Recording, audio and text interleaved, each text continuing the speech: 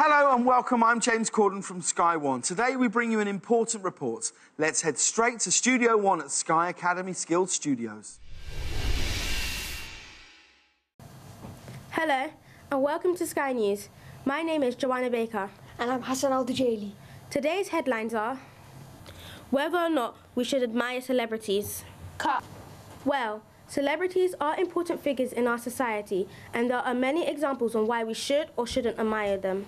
A good example would be Emma Watson, who is an English actress as well as the UN Women Goodwill Ambassador.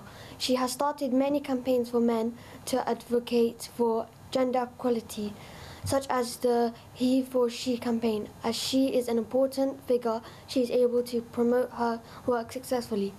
On the other hand, Lindsay Lohan is an actress that's known more for being arrested than her acting career. She was accused of stealing a $2,500 necklace from a jewelry store and is also banned from driving due to her constantly driving under the influence of cocaine.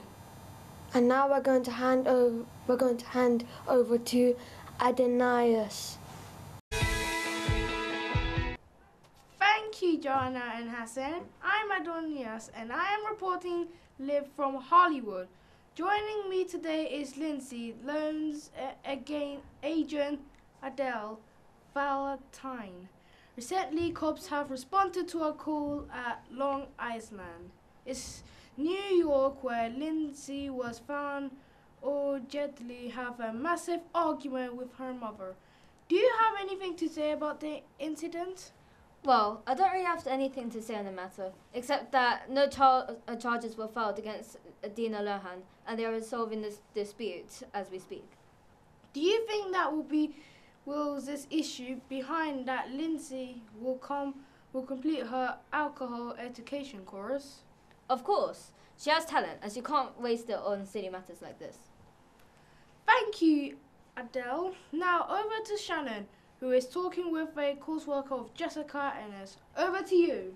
Thank you, Adonias. Hi, I'm Shannon and I'm reporting from, from London. One of the most influential British athletes, Jessica Ennis Hill, has been praised for her on ongoing charity work. Back in where she grew up, I'm interviewing our guest, Yahya Ali, who is one of, who, who is an ambassador of the charity work Jessica Ennis, Ennis contrib- contributes with.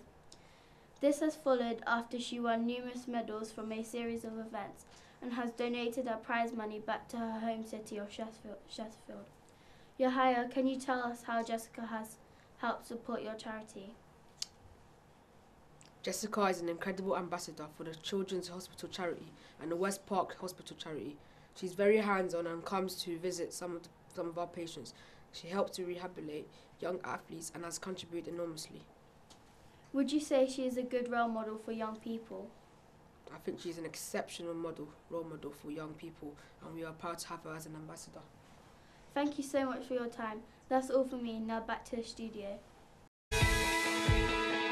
Thank you, Shannon. Tune in next time for more information. Goodbye from us, Sky News. Thanks for watching and thanks to the brilliant team at Sky Academy Skills Studios.